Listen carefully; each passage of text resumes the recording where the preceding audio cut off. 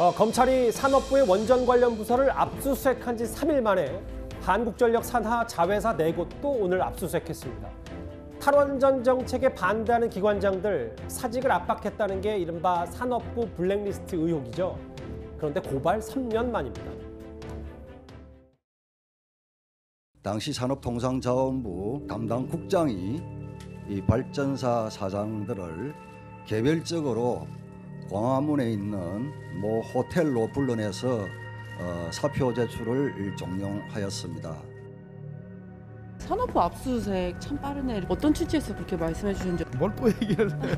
그것도 뭐 특별히 제가 말씀드릴 게 없고. 더 빨리 이루어졌어야 된다 이렇게 생각. 아니 그냥 그대로 그냥 압수수색을 한 날 실무자가 그런 보고를 하길래 제가 실무자한테 그랬어요. 참 빠르네 그랬어요. 지난 25일에 3년 2개월 만에 검찰이 압수수색했고 오늘 추가 압수수색도 좀 했습니다. 구정처장. 네. 이게 결국은 박근혜 정부 때 임명된 공공기관장 사장들에게 사표를 강요했다, 강요했다. 이게 그 산업 블랙리스트 내용의 핵심이잖아요. 그렇습니다. 당시 야당이던 지금의 국민의힘의 전신이죠. 이 자유한국당에서 이 산업부 블랙리스트를 이제 고발을 했습니다. 검찰에.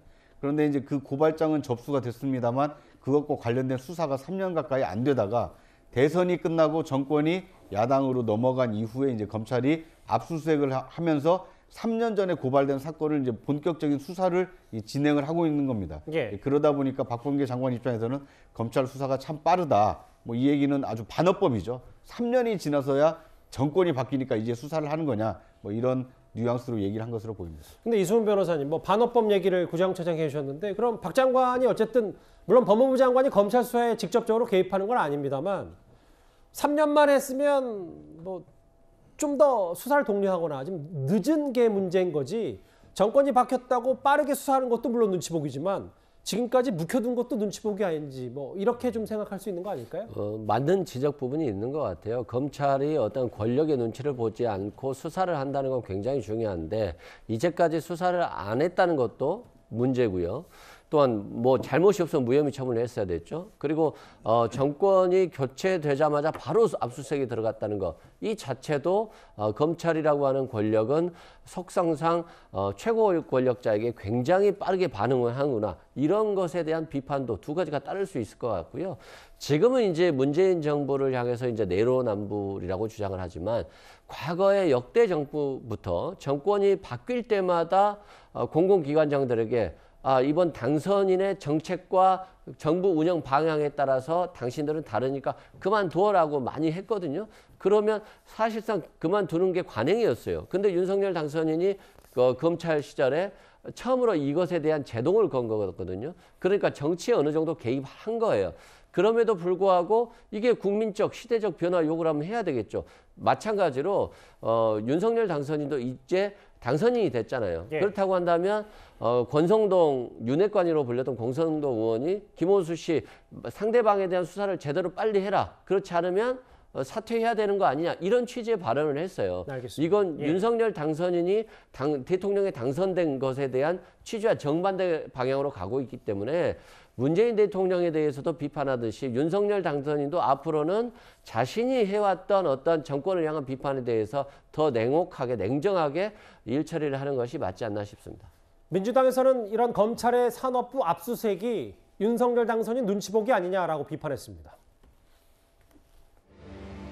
문재인 정부에 대한 청부 수사로 전국 주도권을 틀어주고 반대 세력을 탄압하는 검찰 독재의 시작은 아닌지 국민적인 우려가 큽니다. 사실상 종결 수준에 접어들었던 사건을 검찰이 대선이 끝났다고 이렇게 기다렸다는 듯이 다시 끄집어냈습니다. 문재인 정부에서 사라졌던 정치 보복, 하명 수사 이런 과오를 다시 되살리지 말기 바랍니다. 3년이 지나서 갑자기 이제 강제 수사 들어가는 거 음, 그리고 정권 교체기와 맞물려서 이 수사를 하는 것을 예. 보면 뭐 눈치를 보는 것 아닌가라는 인상을 지우기는 어려워요. 동시에 여러 가지 이제 의미도 더 담고 있는 것 같긴 하지만 정치적인 고려가 있는 것 아닌가라는 의심을 지우기는 음. 어려워 보입니다. 오늘 국민의힘에서는 늦은 만큼 책임이 크고 국민이 지켜볼 것이다 라는 얘기를 했는데 김주일 대표님 민주당에서는 윤석열 사단의 작품이다. 문재인 정부 청부 수사다라고 좀 격앙된 반응을 쏟아냈어요. 뭐 정치적 수사라고 봅니다. 양측이 다. 그래서 이거는 해석하기 나름인데 아까 전에 뭐 변호사님도 얘기를 하셨지만은 검찰이 눈치를 본 건 확실합니다. 근데 문재인 정부 눈치도 본 거고 윤석열 지금 차기 정부 눈치도 본 예. 거예요. 윤석열 정부 내에 했, 아니 문재인 정부 내에 했어야죠 이거는. 근데 지금 논리는 그런 거거든요.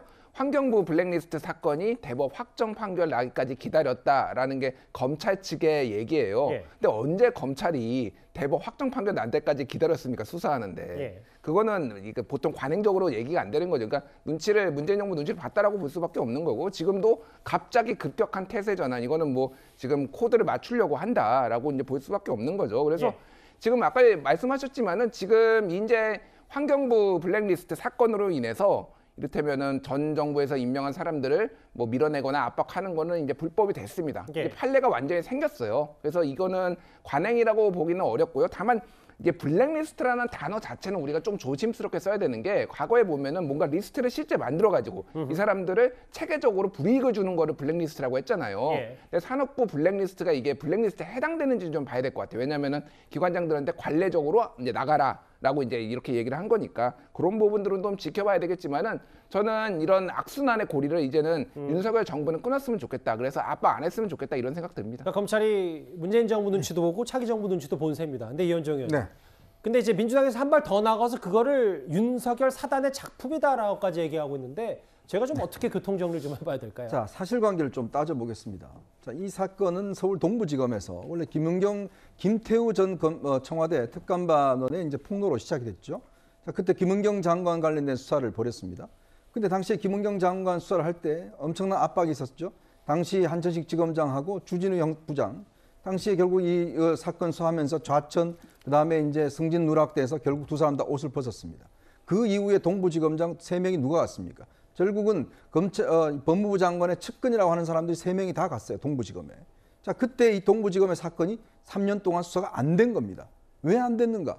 즉 친정권 검사 그 지- 지검장들이 가서 수사가 안 된 거예요. 자 그 이후에 현재 지금 심우정 어, 검사장에 있는데 이 심우정 검사장은 어, 예전에 그 윤석열 그, 이 검찰총장 시절에 당시 추미애 장관이 징계를 하라고 그래서 하니까 본인이 아 이거는 징계 사유가 해당되지 않는다. 본인이 그래서 그 서류에 서명을 하지 않았습니다. 자 그런 심우정 검사장이 이제 있으면서 이 수사가 다시 시작이 된 거예요. 예. 자 근데 이거는 단지 눈치 보는 문제가 아니라 결국은 그 동안에 세 명의 지검장들이 이 수사를 막은 겁니다. 막고 난 다음에 지금 이제 이 상황에서 어쩔 수 없으니까 수사가 시작된 거예요. 이게 바로 지체된 정의입니다. 즉 검찰이 사안이 있으면 수사를 해야 되는데 아니 세상에 딴 판결 보고 수사하겠다는 이유가 이게 어디 있습니까? 똑같은 사안인데. 저는 아마 이 산업부뿐만 아니라 나머지도 마찬가지예요. 결국은 그래서 검찰이 이렇게 어떤 면에서 보면 친정권 검사들이 이걸 막고 눌러서 못하게 한 것이지 이건 눈치 본 거는 전 아니라고 봅니다. 예. 블랙리스트 산업부 블랙리스트 관련 수사 검찰이 이쪽 저쪽 다 눈치 본 거 아니냐 비판 있고 뭐 여러 가지 오늘 정치권에서도 공방이 있었습니다. 아, 이 주제는 여기까지고요. 어, 잠시 저희가 어, 대통령과 문 대통령과 윤당선인의 오늘 만찬 회동 화면도 잠시 보여드렸었는데 예, 만찬 메뉴가 공개가 됐습니다. 앞서 여유신 분들의 예측은 다 보기 좋게 빗나갔어요. 뭐 소주도 아니고 맥주도 아닌 화합주는 레드 와인이다라는 얘기. 해산물 냉채와 잣죽, 한우갈비 등이 지금 그 만찬 테이블에 올라가 있고요. 예.